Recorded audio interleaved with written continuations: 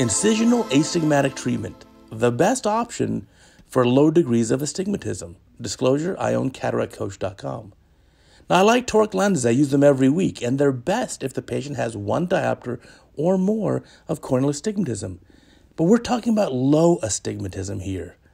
For a high astigmatism patient, it's very easy to find the precise axis, and all your different machines give the same reading. So easy. But with a mild degree of astigmatism, less than one diopter, it's hard to find the precise axis, and all your different machines may give a slightly different answer.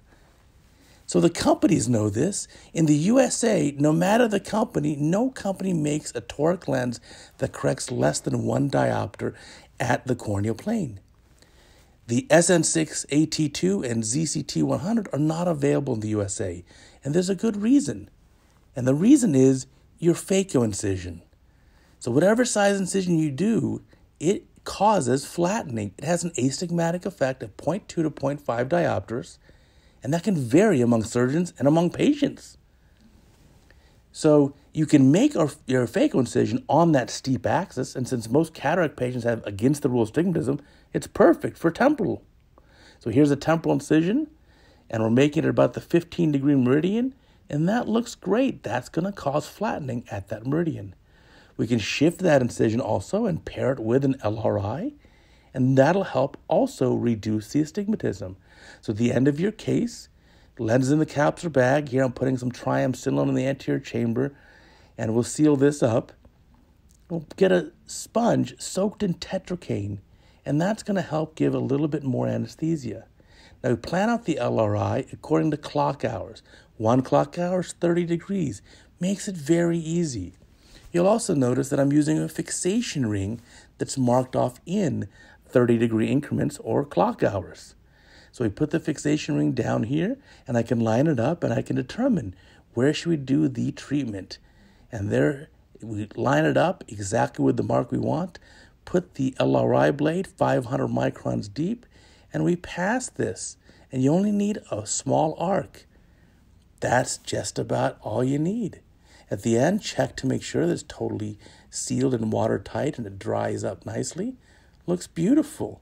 We have to aim for perfection. Here's post-op of the lamp, phaco incision plus the small limbal relaxing incision. Comfortable for the patient. They don't feel it. It doesn't tear up the epithelium. The recovery is identical to just doing a regular cataract surgery.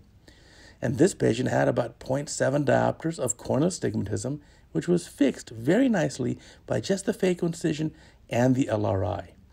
So here's a very simple nomogram for an LRI.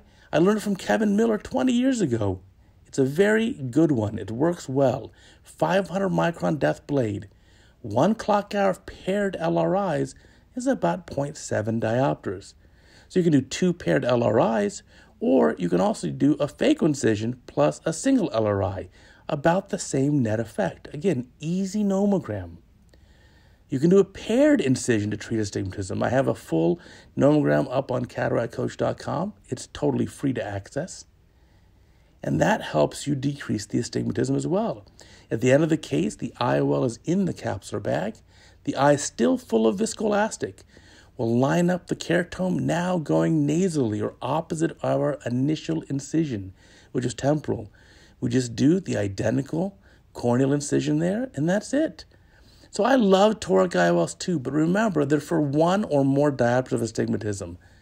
Incisional approaches are best for low astigmatism, particularly in the USA, where we don't have the toric lenses to correct less than a diopter. Again, here's the patient at the end. We're going to do an LRI here. So fixation ring goes down. We line up where we want to place this.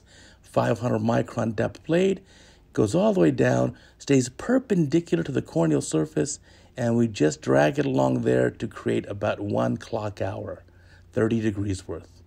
Now, if you want, you can use fancy toys like this to make the incisions, but it really doesn't make a difference. The disposable LRI blade's pretty good.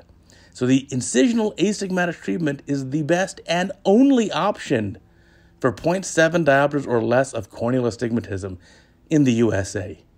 So thank you for your attention. I sincerely appreciate it. All my videos are available on cataractcoach.com. Check it out. It's totally free, a new video every day.